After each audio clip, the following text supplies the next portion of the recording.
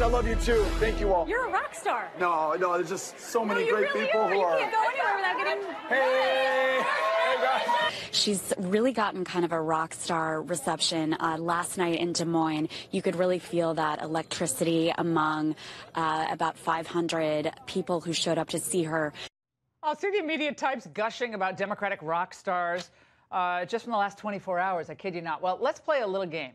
Republican John James has closed the gap to seven points in his challenge against Michigan Senator Debbie Stabenow. Now, Beto O'Rourke likewise trails seven by seven in his race to unseat Ted Cruz. But according to Google News, a Beto O'Rourke search nets uh, 2.68 million results. John James 82,100. Here to react, Republican candidate for the U.S. Senate in Michigan, John James. John, it's great to see you as always. Now, any guesses as to why you're not the subject of these glowing media profiles? Because a lot of people out there I've talked to do think you're a rock star, by the way.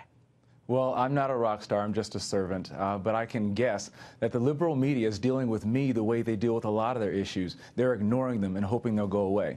Well, they can't ignore me, and I won't go away, just like the issues that are facing Michigan that Debbie Stabenow has ignored for decades. Uh, we're surging in the polls, went from 23 to 18 to 9, and now 7. We outraised Debbie Stabenow by double last quarter, and we just had a rally last week that got 4,000 people when Bernie Sanders struggled to get a, a, thousand last week. We really love the momentum, and if you'd like to learn more, please go to johnjamesforsenate.com. We'd love to have you on board.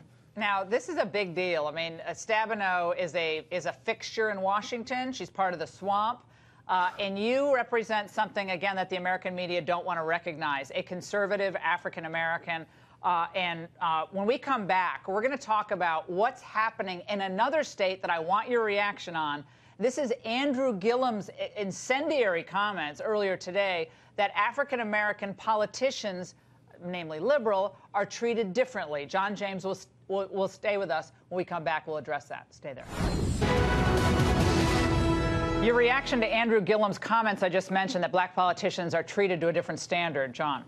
Well, my father was raised in the Jim Crow South, and he taught me to never make excuses and all ways to do everything that I could to excel. That's why I made it to West Point, deployed to Operation Iraqi Freedom, and brought all my men back home as Ranger qualified Apache pilot and grew my family business. I believe in a, in a red, white, and blue message, not a white or black message, and that's why my message is resonating because we're all Americans, and we need to push past the identity politics, make sure we bring people together, and John, we're 98%. Yeah. John James, uh, Michigan voters are watching tonight. I really appreciate your joining us and thank you for your service.